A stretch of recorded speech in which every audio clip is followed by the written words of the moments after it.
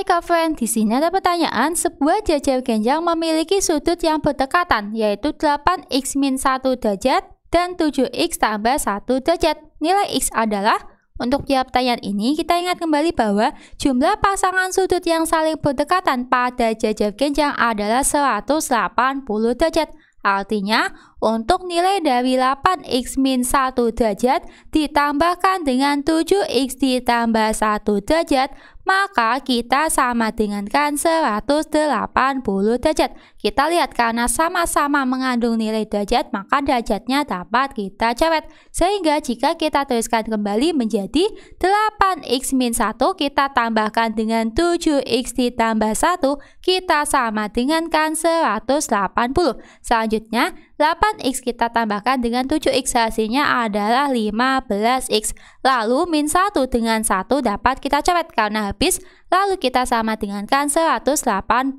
Maka untuk menentukan nilai x diperoleh dari 180 dibagi 15, diperoleh hasilnya sama dengan 12. Artinya nilai x-nya sama dengan 12, di mana untuk jawaban ini terdapat pada opsi C. Demikian, sampai jumpa di pembahasan soal selanjutnya.